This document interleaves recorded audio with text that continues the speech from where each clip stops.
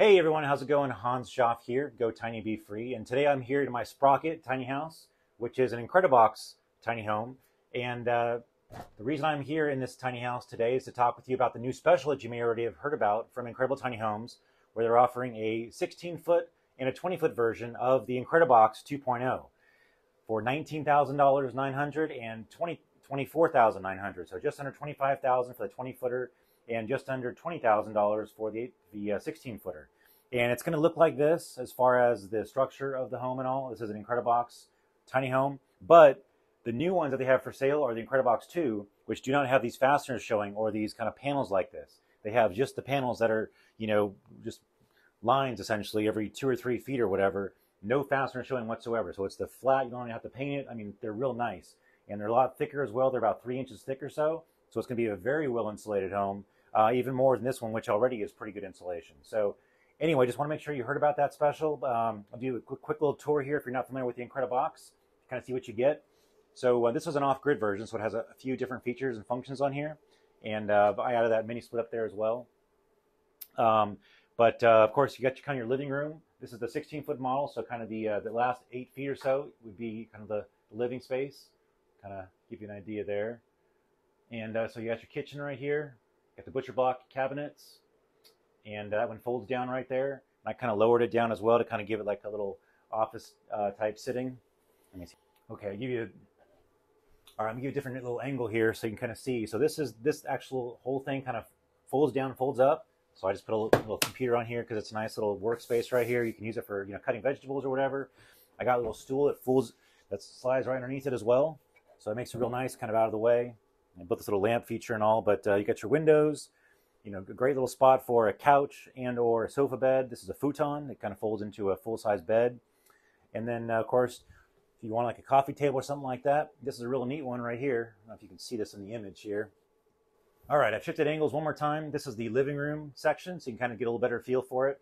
I got this little coffee table thing off Amazon. It's like a hundred bucks, something like that.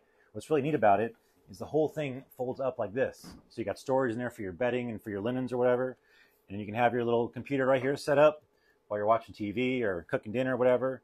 It's perfect. Or you can even eat dinner right on here while you're watching TV. So you don't even need to use that or any other table. This thing kind of works as everything. A little coffee table all in one. So it's a real neat little little piece of furniture there. Uh, of course, you got the TV. It's on a it's on a, a, swing tilt, so you can kind of tilt it at whatever angle that you want. I think it's a 32 inch TV that I put right there. Fits kind of between the uh, the post right there and the and start of the window. Um, little coat rack I just kind of put in. Going with that steampunk steel panel theme. Put another light in there, which is controlled by that light switch automatically. They have it wired up that way. You got some light switches and some plugs down here as well. And then I put in these curtain rods, uh, just metal pipe as well as the mini split and things like that. Window dressing. Change the angle here. All right, so then you got your kitchen. It's got some magnetic knives right there, a little clock. Um, change out the light fixture and put in some shades right there for the uh, over the kitchen sink. Put in some shelves, and I just put on a I forget a teak oil or something like that on this to kind of finish it off. Just a food grade uh, uh, finish, basically. I sanded it down, and did about uh, three coats on there, so it should be pretty much waterproof or so. Got the kitchen cabinets, of course, come with it, obviously, and uh, then you got your bathroom. Kind of so there's the front door as you enter, and then this little there's the kind of the loft space up there above the bathroom, and then I've got a little dehumidifier put in there.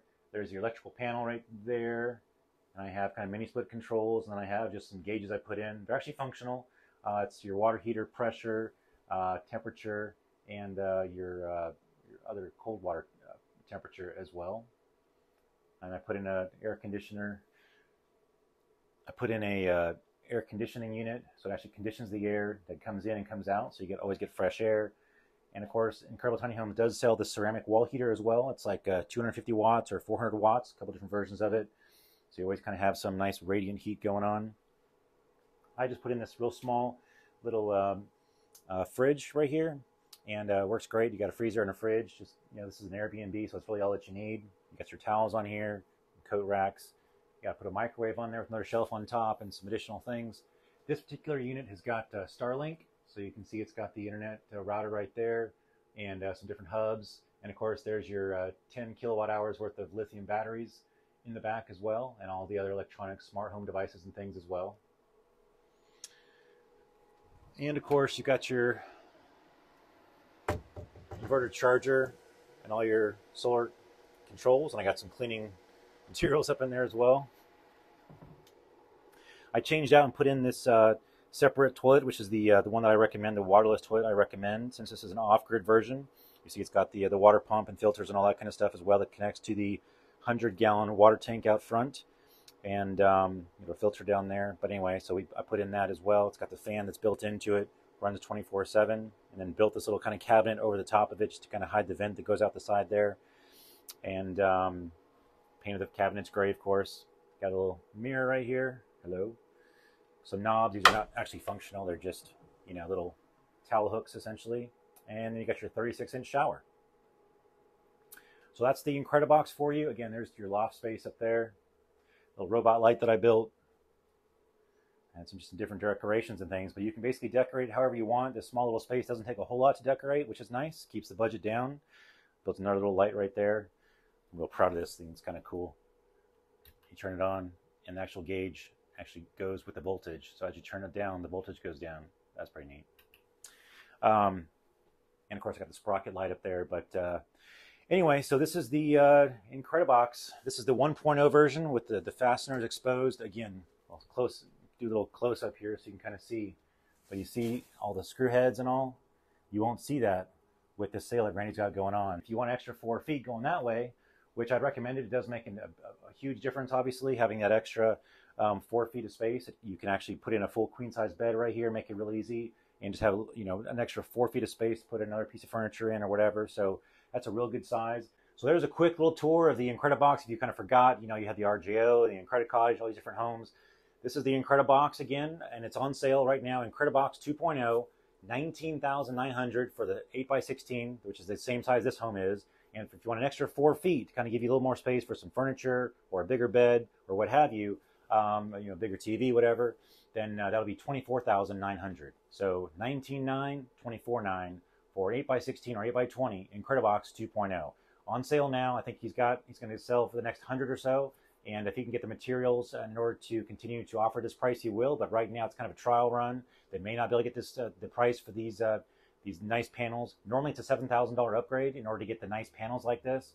So the fact they're able to find a new supplier to be able to drop the price down creates this opportunity for a new sale. So if you haven't got your tiny house yet, be sure to do that. And of course, once you get your Incredibox, we still have phase two lots available on the lake, $15,000 key money for a lot on phase two. We've got a few on the south side where the Airbnbs are going to be. We've got a few on the east side and a few on the north side still left. So if you are still looking for a place to put your tiny home, we do have a few lots still available in phase two, which is currently under construction.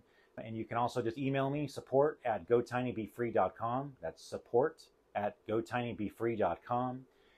All right, well, that's all for me here today. Hans Schaff, Go Tiny Be Free. And be sure to like this video and subscribe if you haven't to this channel to make sure that you don't miss out on future updates because we got a lot of footage still to come from the property, the cottages at Pine Lake, which you're going to get more information about that if you go to gotinycottages.com. Gotinycottages.com a lot of people will email me questions or message me questions. A lot of your questions can be answered right there on the website. We've laid it all out so you can kind of see exactly what's going on. There's some videos on there as well.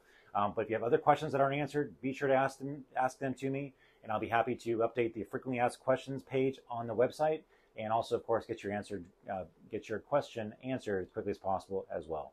So anyway, Hans Schaff, go tiny, be free. We'll see you in the next message. Take care.